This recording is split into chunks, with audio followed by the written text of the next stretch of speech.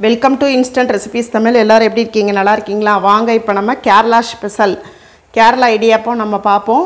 நூலாப்பம்னு சொல்லுவாங்க கேரளாவில் அடுப்பில் வந்து ஒரு இட்லி சட்டி வச்சுருக்கேன். இப்போ நம்ம வந்து இந்த இடியாப் இடியாப்பத்துக்கு வந்து ஃபஸ்ட்டு இந்த வாழைப்பழத்தை நம்ம அவிச்சுக்குருவோம். இந்த இட்லி சட்டியை எடுத்துகிட்டு நல்லா தண்ணி கொதிக்கணும். இங்கே பாருங்கள் நல்லா தண்ணி கொதிக்கணும்.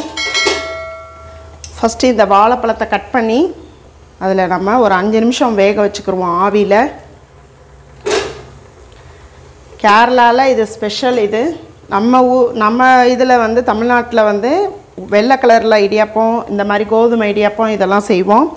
ஆனால் கேரளாவில் இந்த நேந்திரம்பழம் வச்சு இடியாப்பம் செய்வாங்க. நான் ரெண்டு நேந்திரம்பழம் எடுத்திருக்கேன். இப்போ நம்ம ஒரு அஞ்சு நிமிஷம் அப்படியே ஆவியில் வேகட்டும் ஹை ஸ்பீடில் இருக்கட்டும். அஞ்சு நிமிஷம் கழித்து நம்ம எடுத்துட்டு நல்லா ஆற வச்சுருவோம். அஞ்சு நிமிஷம் ஆயிடுச்சு நம்ம எடுத்துக்கிடுவோம் இப்போ. கேரளாவில் இது ஸ்பெஷல் இந்த நூலாப்பம். இது நூலாப்பம்னு சொல்லுவாங்க. நம்ம இங்கே இடியாப்பம் சொல்லுவோம். இப்போ நம்ம எடுத்துக்கிடுவோம் அடுப்பை ஆஃப் பண்ணிடுவோம். எடுத்து நல்லா ஆற வச்சுருவோம். இப்போ நான் வாழைப்பழத்தெல்லாம் நல்லா ஆற வச்சுட்டேன். ஆற வச்சுட்டு அந்த வாழைப்பழத்தில் உள்ளே இருக்க அந்த விதை அந்த நார் இதெல்லாம் இருக்கும். அதெல்லாம் எடுத்துருவோம். அப்போ தான் நமக்கு இடியாப்பம் புளியும் போது ஈஸியாக உள்ளே இறங்கி வரும் அந்த ஓட்டையில். இப்போ நம்ம இந்த வாழைப்பழத்தை நம்ம மிக்சியில் சேர்த்து நல்லா ஃபைன் பேஸ்ட்டாக அரைச்சிட்டு வந்துடுவோம் இப்போ நம்ம வாழைப்பழத்தை ஃபைன் பேஸ்ட்டாக அரைச்சாச்சு. நான் ஒரு கப்பு அரிசி மாவு எடுத்திருக்கேன். நீங்கள் வெ வெளியில் வாங்கினதுனால கடையில் வாங்கின அரிசி மாவுனாலும் சரி இல்லை வீட்டில் செஞ்ச அரிசி மாவுனாலும் சரி எந்த அரிசி மாவு இடியாப்பத்துக்குள்ள அரிசி மாவு இதுக்கு தேவையான அளவு நம்ம உப்பு ஆட் பண்ணிக்கிருவோம்.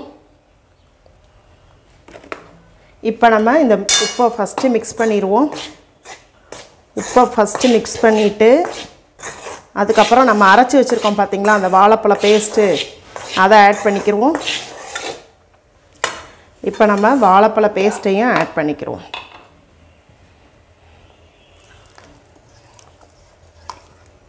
இப்போ நம்ம இதை ஃபஸ்ட்டு வாழைப்பழ பேஸ்ட்டு போட்டு இதை ஃபஸ்ட்டு நம்ம மிக்ஸ் பண்ணிடுவோம் இப்போ நான் வாழைப்பழத்தை போட்டு மிக்ஸ் பண்ணிட்டேன்.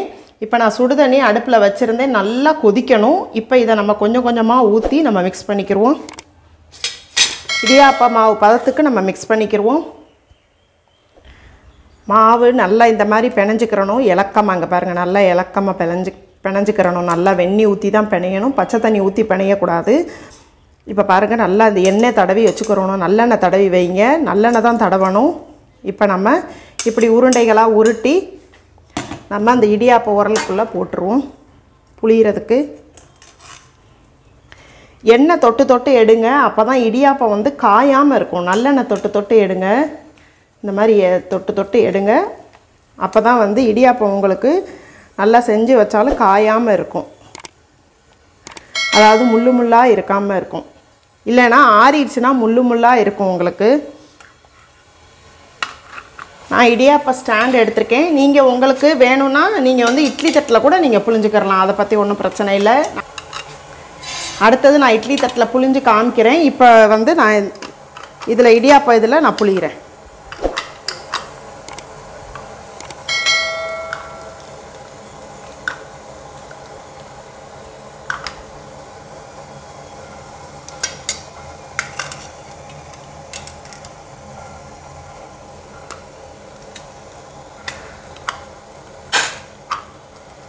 முந்தையா புளிய வேண்டாம். இப்போ நான் வந்து இட்லி சட்டி வச்சுருக்கேன். அடுப்பில் தண்ணி நல்லா கொதிக்குது பாருங்கள் இந்த மாதிரி கொதிக்கணும். தண்ணி கொதித்ததோடு நம்ம இடியாப்ப ஸ்டாண்டை உள்ளே இறக்கிடுவோம் ஒரு எட்டு நிமிஷம் நல்லா வேகட்டும். ஹை ஸ்பீடில் இருக்கட்டும். இந்த இட்லி தட்டிலையும் நான் உங்களுக்கு புளிஞ்சு காமிக்கிறேன். இந்த இட்லி தட்டில் ஃபுல்லாக நான் வந்து எண்ணெய் தடவி வச்சுருக்கேன். இதில் வந்து இந்த இட்லி தட்டில் கொஞ்சம் கொஞ்சமாக தேங்காய் பூ மட்டும் கொஞ்சம் லைட்டாக ஆட் பண்ணிக்கிறோம் கொஞ்சம் லைட்டாக தான்.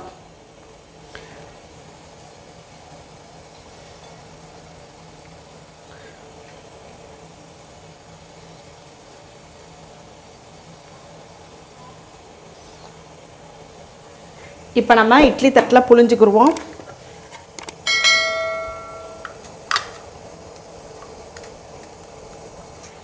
இப்போ நம்ம புழிஞ்சிட்டோம். அந்த இது வெந்துக்கிட்டுருக்கு அதை எடுத்த பிறகு இதை நம்ம வைப்போம்.